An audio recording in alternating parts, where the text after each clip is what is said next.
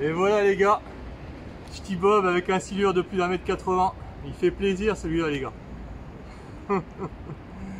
un beau glan de Seine qui fait vraiment plaisir. Franchement, je suis au top.